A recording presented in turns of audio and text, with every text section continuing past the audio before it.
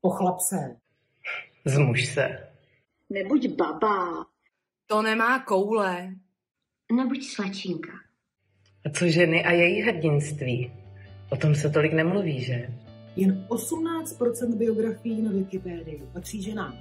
Možná to souvisí i s tím, že jen jeden z deseti wikipedistů je žena. Pojďme to změnit.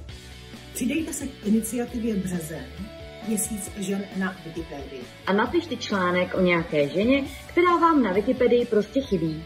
Třeba o mě. Chybí jich tam hodně. Pokud se na editaci sami necítíte, tak přijďte 9. března do amerického centra a my vám s editací pomůžeme. A kdybyste neměli čas, tak nezoufejte, protože do 8. dubna to můžete zvládnout online. Více info na ženy.wikimedia.cz Podporuji měsíc žen na Wikipedii, protože bych si ráda přečetla víc článků o ženách a od žen. Je důležité učit se o, nebo dozvídat se více o ženách, které něco dokázaly, které něco udělali a nechat se inspirovat.